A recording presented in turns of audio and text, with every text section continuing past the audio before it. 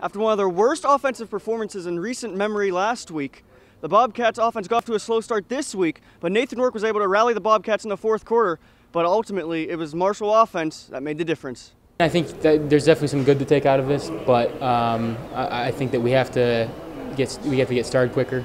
Um, I think we uh, were in some really you know special teams put us in some really good situations early, and uh, we didn't take advantage of them. Uh, so I think that's something that we still got to work on. I, I, thought he had a great night. Um, you know, not just the, the long run that uh, that put us up, uh, but he got out of the pocket on occasion when he when he needed to to to make some throws. His passing percentage was uh, uh, was very good.